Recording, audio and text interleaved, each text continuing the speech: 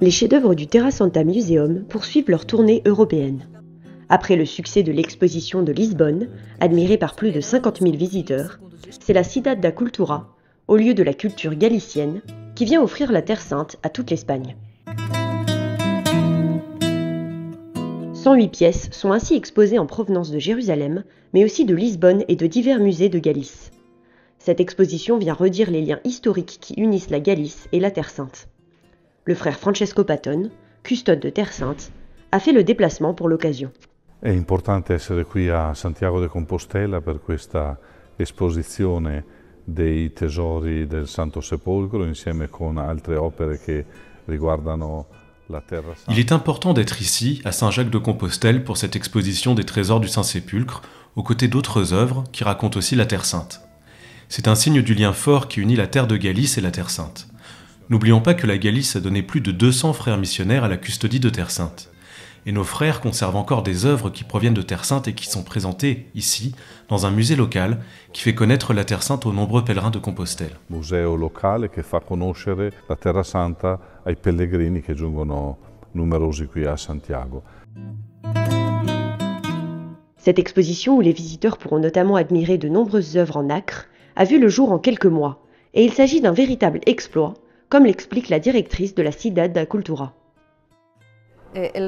Inaugurer cette exposition dans les temps, c'est-à-dire juste avant la Semaine Sainte, le 21 mars précisément, a été un véritable défi.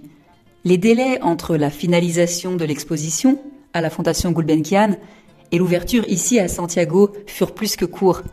Il faut savoir qu'il s'agit de pièces très complexes à monter. Heureusement, nous avons bénéficié de l'aide et de la technicité des experts de la Fondation Gulbenkian pour l'installation des œuvres.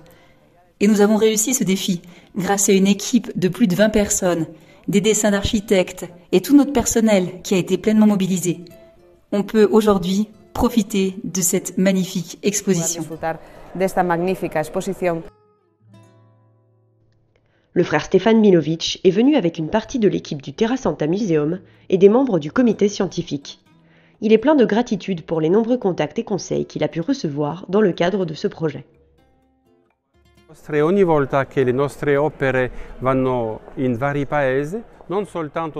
Chaque fois que nos œuvres sont exposées dans différents pays, ce n'est pas seulement un enrichissement de la connaissance scientifique de ces dernières grâce à la publication de catalogues, c'est surtout l'opportunité d'apprendre de l'expérience des professionnels de ces musées. Je pense aux services de communication, mais aussi aux services de sécurité, à tout ce qui touche à la restauration des œuvres aussi. Nous grandissons en compétences et nous pouvons les réinvestir dans le musée que nous sommes en train de construire.